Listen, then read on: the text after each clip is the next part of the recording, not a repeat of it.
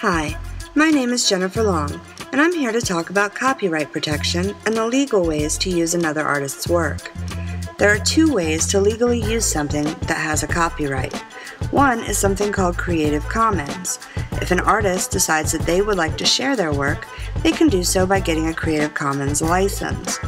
There are several different types of Creative Commons license, so by doing this, they can still decide how you're allowed to use their work.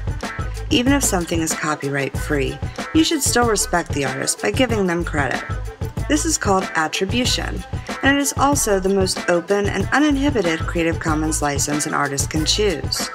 From there, they can also decide if you can tweak or build on their work, whether you can use it commercially to make a profit, require you to obtain the same Creative Commons license that they have on it, or any combination of these preferences. But again, this is a free license on top of an artist's copyright that he or she must decide to get. When a Creative Commons license is not applied, there is still a way that the courts can decide if you're violating someone's copyright. In other words, the court can decide if it is fair for you to use someone else's work or if it is copyright infringement. This is known as fair use. The artists themselves cannot determine this.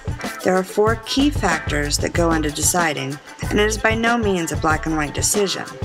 But they consider the purpose for using it, for example, using something for nonprofit, educational, or parody purposes versus commercial or entertainment purposes. The next thing they consider is the nature of the work being used. In other words, are you using something that was factual, educational, or published versus a fictional, highly creative, or unpublished work? The third factor is the amount being used in relation to the original work as a whole. Are you trying to use an entire song or a few seconds long clip from a movie? Lastly, they consider the effect it could have on the original work. Will they possibly lose profits if its use is allowed? These factors are a good standard to work from for the most part.